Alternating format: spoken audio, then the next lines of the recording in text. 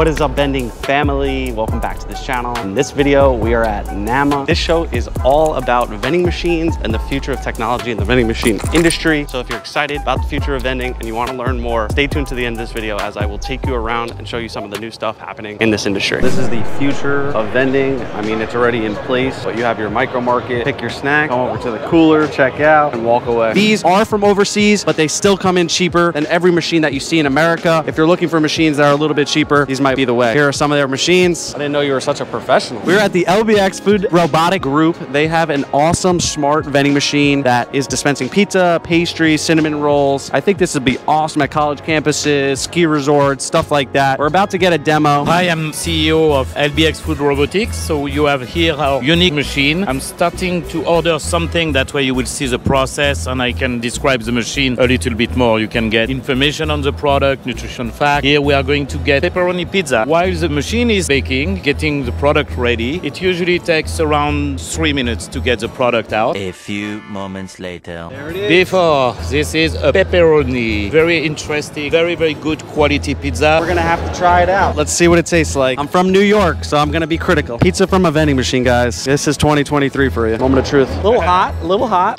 You have the dough at a perfect crispiness. You have the cheese at a good temperature, and the pepperoni, it almost just melts in your mouth. It- It's really good pizza. It's really good. Did you try it, Big Guy? It's really good. I don't know what he's got in it, but it's delicious. It's a no-brainer. It's really good. Thank you guys. Thank you. Glad you much. like it. Yeah, absolutely. Where can they find you? Go on our website, LBX Food Robotics. Our AI is going to predict what is going to happen with your sales and stock in the next two weeks, and it's going to take some inputs from you, some rules, and suggest to you what you need to do the next week, what products you need to take, what inventory you need to have in the trucks, in the machines, and everything is streamlined, everything is automated. And the tap and go payments for Apple Pay, Google Pay, Visa, MasterCard. Check our webpage, televend.com, get in touch. These innovative smart vending machines seem to be the move. A lot of cool things to come, a lot of recipes. Looks like hot dogs, dumplings, cinnamon rolls, pizza, brownies. Honestly, this might be where the industry is moving towards. You obviously need to high volume accounts to make any money with these. It's as simple as clicking and ordering and getting exactly what you want. I guess it works. Let's see if I get a cinnamon roll. A few inches later. Oh wow, and there we go, a beautiful cinnamon roll. I'll have to do a test trial, see how it tastes, but it looks delicious. And this came from a vending machine, guys. Awesome. If you guys need credit card processors, definitely check out Nayax. As you can see, you can boost your revenue by 25%. Make sure you use code VBS for a 7% discount. Make sure you get that discount buy yourself some readers get your vending business more profitable with credit card and Apple Pay. We are about to get out of here. The show is closing up. We are wrapping up here at the NAMA show, topping it off with a Cinnabon from a vending machine. Guys, this business is moving quick. There's a lot of technology happening in the industry, a lot of advancements in what is going into these vending machines and what is not. Next year, May 7th to May 9th, Dallas, Texas. I hope to see all of my future vendors watching this video there. Love to meet all of you and possibly we will do a meet and greet. So hopefully that happens.